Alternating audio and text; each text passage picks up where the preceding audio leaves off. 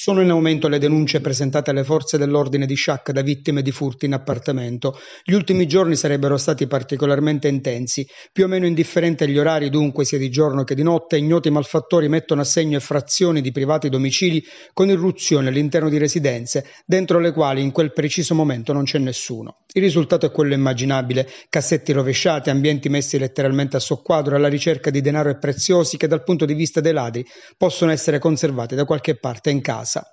Naturalmente sta aumentando la paura tra i cittadini, soprattutto in un momento in cui, grazie anche al periodo festivo, con la gente che è invogliata ad uscire di casa, spesso gli alloggi rimangono incustoditi. Il fenomeno naturalmente non sta riguardando solo il territorio comunale di Sciacca, ma anche altre zone della provincia. È dei giorni scorsi il filmato ripreso dalle telecamere di videosorveglianza di una villetta situata ad Aragona, con i ladri prima entrati nel cortile recintato, poi fuggiti dopo la reazione di una persona che si trovava all'interno della casa.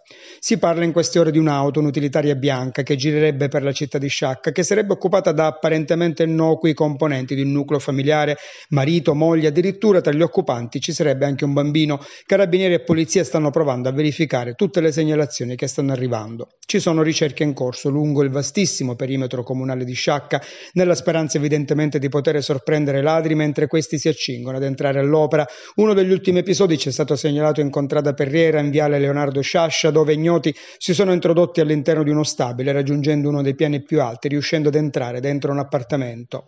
La sensazione prevalente è che siamo al centro di un'autentica escalation di microcriminalità che si associa alle truffe, quelle che vedono vittime soprattutto le persone più anziane, raggirate e derubate, vicenda quest'ultima che ha visto il governo organizzare una campagna di sensibilizzazione con un testimone d'eccezione, il noto attore Lino Banfi. Siamo in un momento evidentemente delicato e l'aiuto dei cittadini e alle forze dell'ordine può essere decisivo.